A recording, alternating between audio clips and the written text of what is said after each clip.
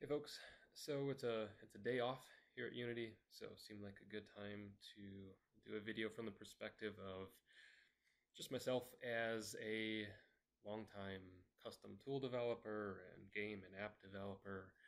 Uh, you probably know ProBuilder and some other things from back in the day. PolySketch, if you haven't seen it yet, pretty cool. It's a new thing. Anywho, um, I think we have some really exciting things for the tool system. And again, as someone who's been through that on the asset store for a long time and custom and other places and worked with a lot of other developers, um, I feel like I have a good perspective on this and I'm excited to share what we're working on.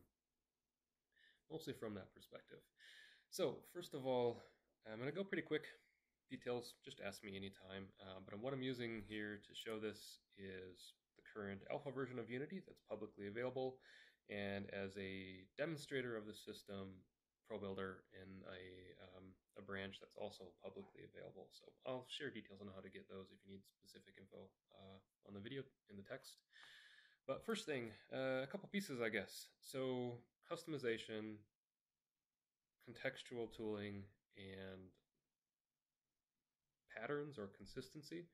I guess those are the major things that we finally have coming together uh, and bumping a little bit back to the Unity side for a long time, you know, we've been there. We being myself, Carl, and the general uh, scene tooling team.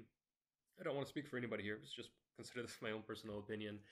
Um, we really, of course, wished we could have done a lot more specifically for ProBuilder and other specific artist tools, but in a very good way, on the other side, we've ended up building systems for everybody to utilize, and that's what I'm going to show here. So let me actually get to that. Uh, so again, just to really make sure this is clear, everything that I'm showing here is available to everybody, which is the exciting part.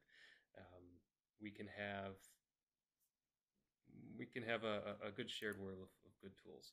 It doesn't make sense. Let me let me just show instead of tell. Okay, cool. So first thing you probably already know the overlay system.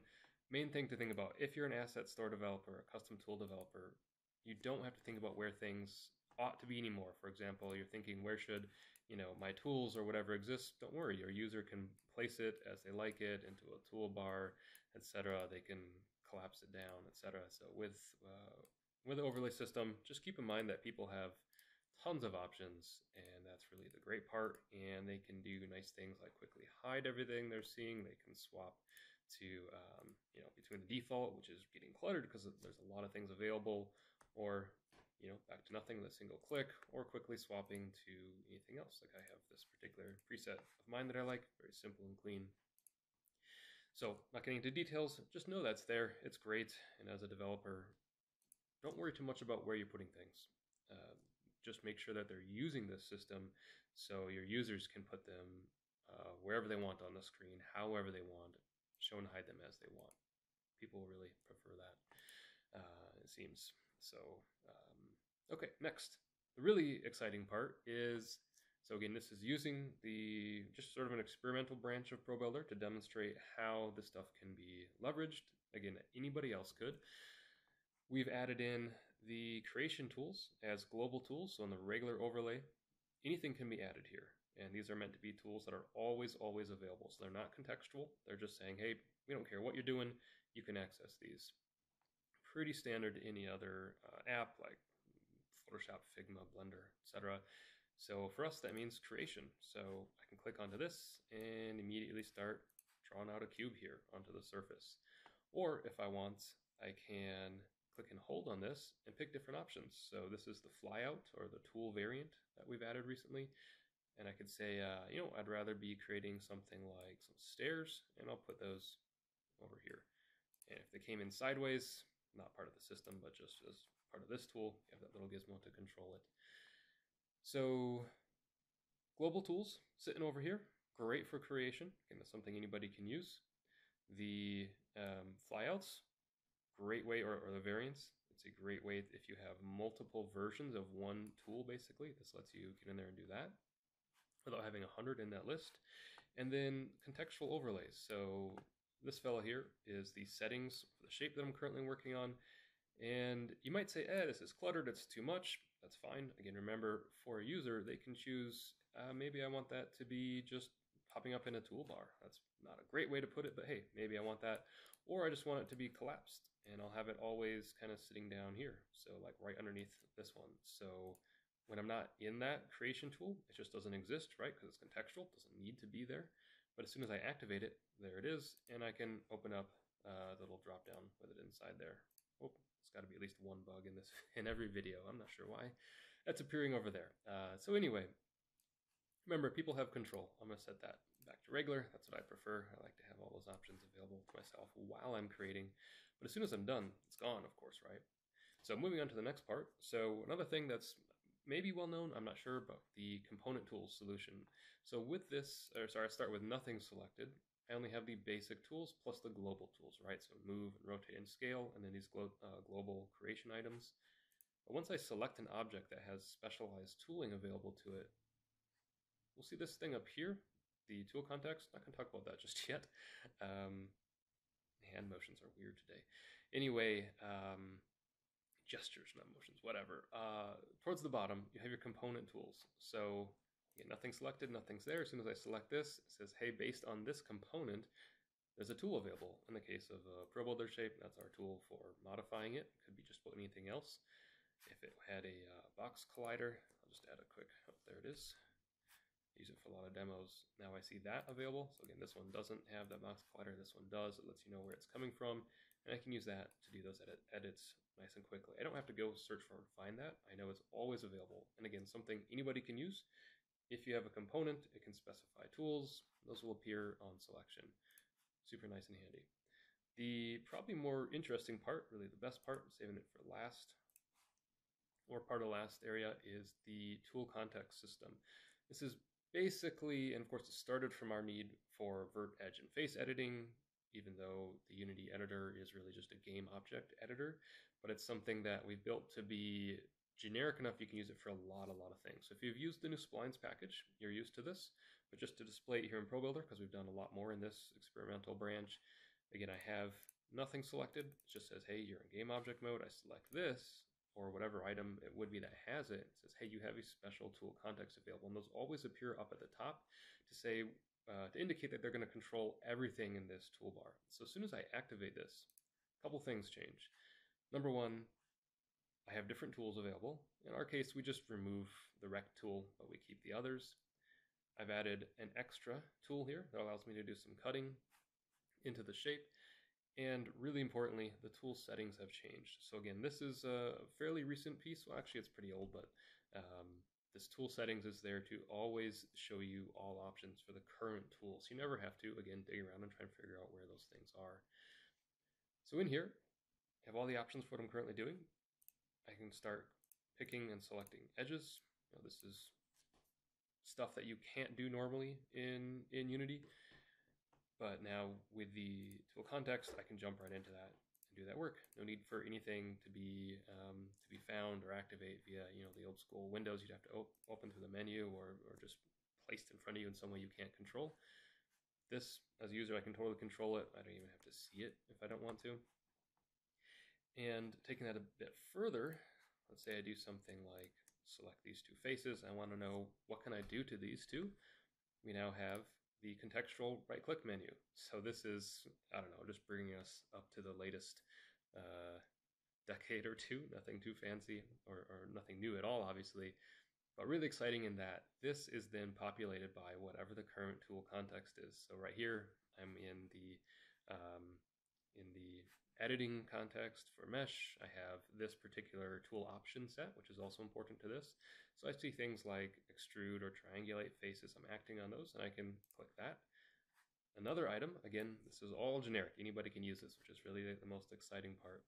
So now you can have um, basically editor actions that have options that can be previewed and canceled. Be nice if this would be live in the future, of course, but baby steps for a lot of things.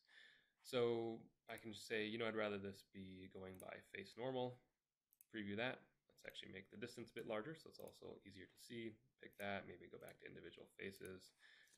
Figure out what I want from this action. When I'm ready for it, hit done, and it's there. So, or validate, we called it. So that's a, a much better way than the old method.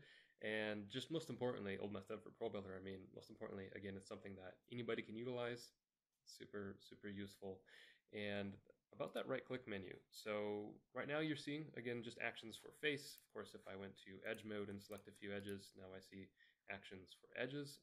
So they're just brought to you contextually. This is what you're working on. Here's the right tools and actions for the right time. You don't have to dig around. I keep saying that, but I think it's really important and not how Unity has been in the past.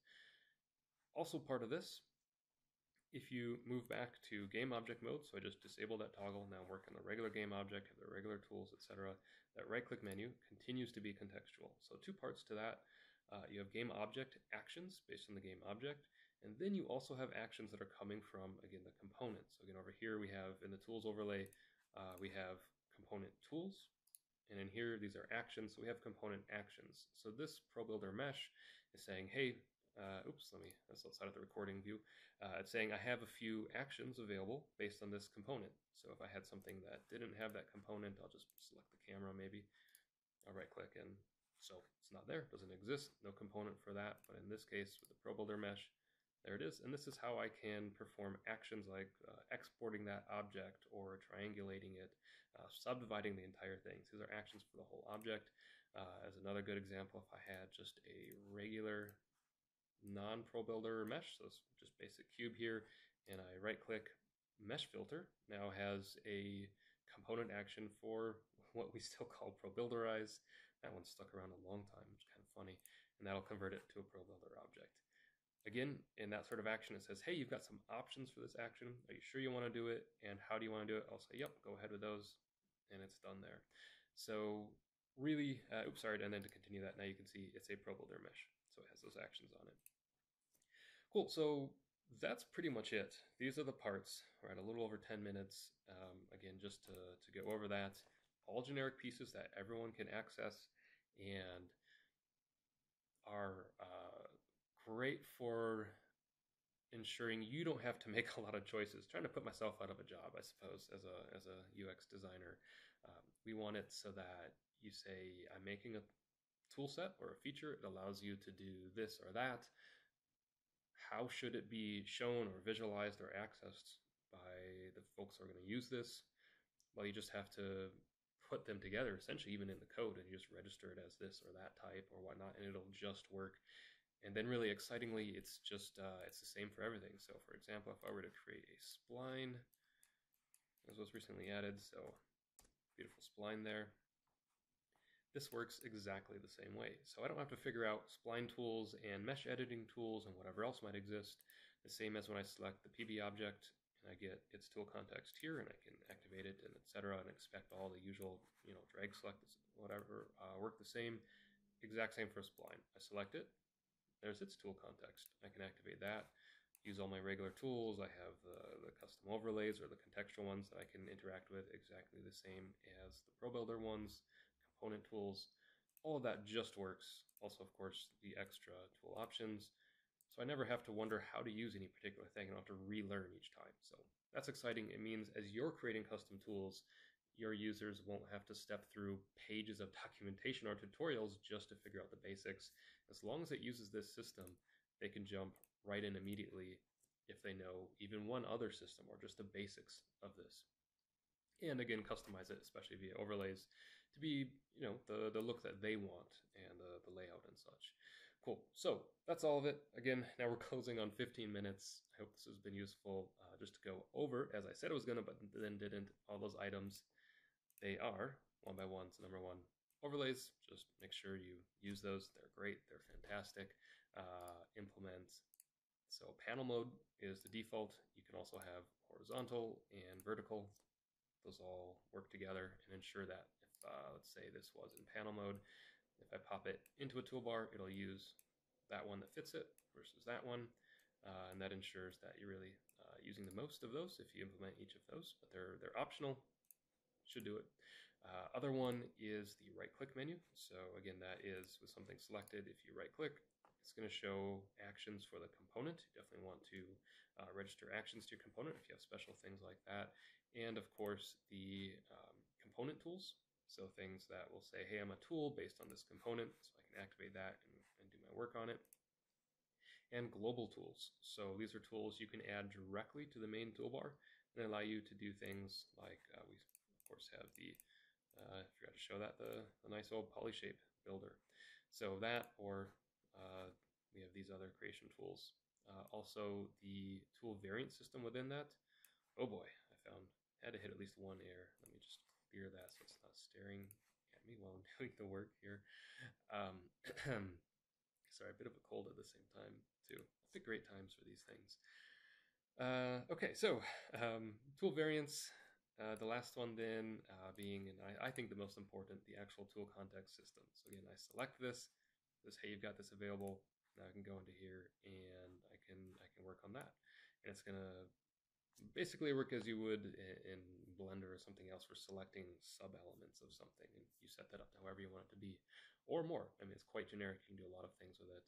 Um, and again, the concept that within there, you have the right click, which will follow the um, the edit mode that you choose, so or, or the tool options and that the tool context or edit mode, and then the tool options themselves. So make sure you're just registering the options for your tool and they'll automatically appear up there, same as the tool context will appear based on your component, the component tools, etc., uh, and, and things in the list here uh, in the right click menu. So all really, really easy to use, we hope. Let us know as you try them. Uh, I would say a great example or a way to try learning or start is taking the um, the branch that this build of ProBuilder is currently on, also just the current version of splines, and check out how it's being put together there. Uh, we are super open to any suggestions or problems or needs as, as you find them if you're building your own into this. And we can, uh, we'd love to update it, make it great, of course, to work for everybody. That's the whole idea. Um, again, going back to the start of this conversation,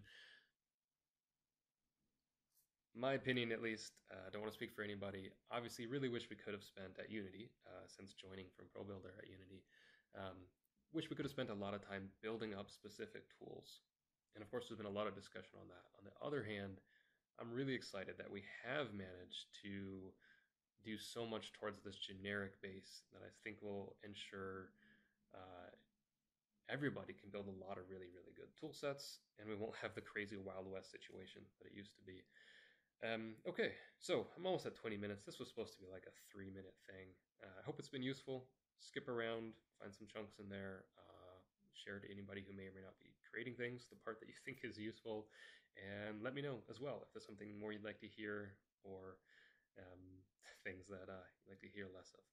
Okay, thanks a bunch. See you around. Happy tool creating and artists, Happy using this as well. You folks too. Bye.